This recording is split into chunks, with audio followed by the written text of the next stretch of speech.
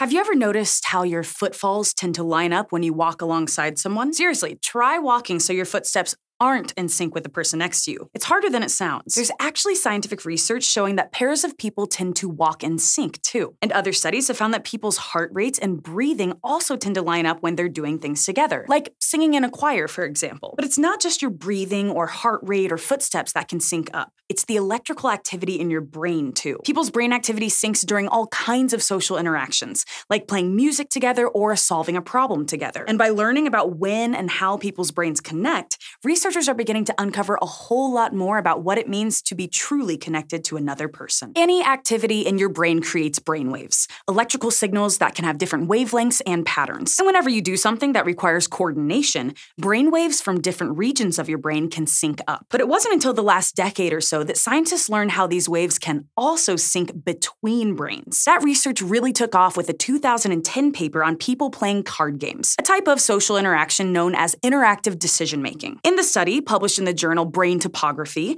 a group of Italian neuroscientists had 14 pairs of subjects play an Italian card game while hooked up to EEGs. Basically, they had a bunch of electrodes stuck to their heads to monitor the electrical activity in their brains. And they played a game called Tressette, which is a four player game with two people on each team. That means the researchers were able to compare the brainwaves of people who were working together as well as those who were working against each other. The main goal of this study was to show that you could use EEGs to measure multiple people's brainwaves at the same same time, which they called EEG hyperscanning. But in the process, the team also found something weird. They happened to find that the brainwaves of players on the same team were very much in sync, while those of players on opposing teams weren't. It's worth mentioning that because EEG hyperscanning is a very new field, practically all of the studies that use it are small. They're meant to introduce new ideas for further research, not conclusively prove anything. And with a new field, there's still room to explore these phenomena in all kinds of brains, including those that might process social interactions in atypical ways. But the results of this card game study led to a whole slew of research using this new technique to measure the connections between people's brainwaves during interactive decision making, as well as a bunch of other types of social interactions. For example, shared attention is a type of interaction where you communicate with someone else using nonverbal signals,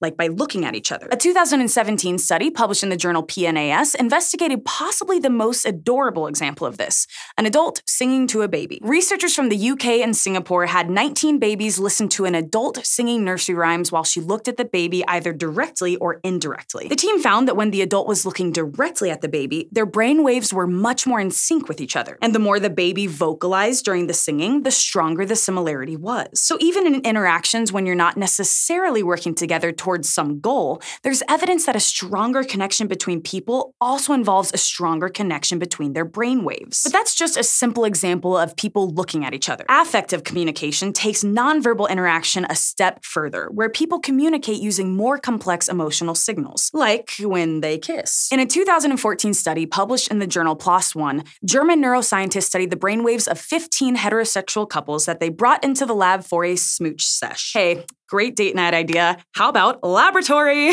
they asked the couples to kiss each other normally, then kiss each other while they solved math problems in their heads, as you do. They also asked each partner to kiss their own hand. All for science, of course.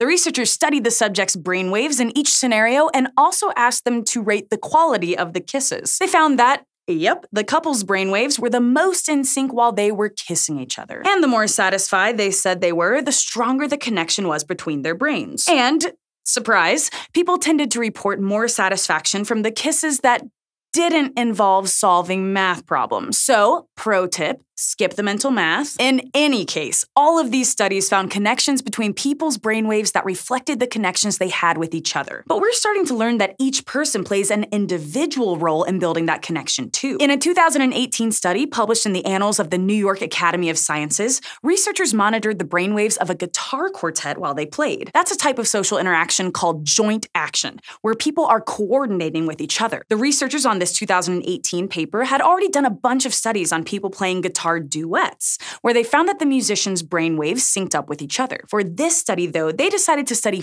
four musicians at once, and they used computer models to map the connections between the subjects' brain waves. And the researchers found that when the connections within an individual guitarist's brain were stronger, like when one guitarist was playing a solo, the interbrain connection tended to be stronger too. In other words, the connection didn't just emerge from the experience they were sharing, it was also built on the contribution each individual made. If there's anything we've learned from the research that's been done so far, it's that the connections between people run much deeper than we thought. We humans are connected not just by our shared planet or biology or technology, but by the actual patterns in our brainwaves. Thanks for watching this episode of SciShow Psych. If you liked this video, you might be interested in our episode on brainwaves, where we talk about different kinds of brainwaves and the activities you do that create different ones. You can check that one out next.